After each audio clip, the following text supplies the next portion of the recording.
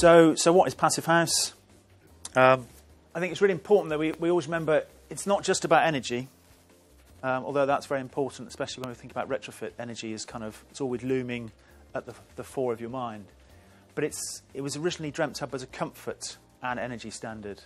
This is um, an example of one of the schemes we've got in the books at the moment. Um, so it's a semi-detached house, um, which is not a great place to start actually, because you've got a lot of surface area to lose energy from.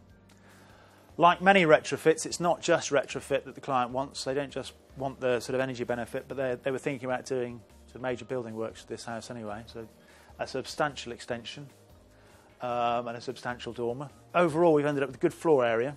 Um, we've got a client who's committed to spending the money on insulating this very well and ending up with you know, a house which starts off, we think, over 300 kilowatt hours per square metre per year. Monster absolute monster, partly predicated by the appalling form factor and sort of the complete absence of any insulation.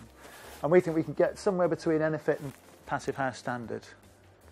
If you project forward under different scenarios, so no price increase being this black line, no, so no increase in energy price, um, energy price going up by 5% is this red line, and the orange is going up at 10% then you might be looking at sort of realistic payback between 15 and 20 years.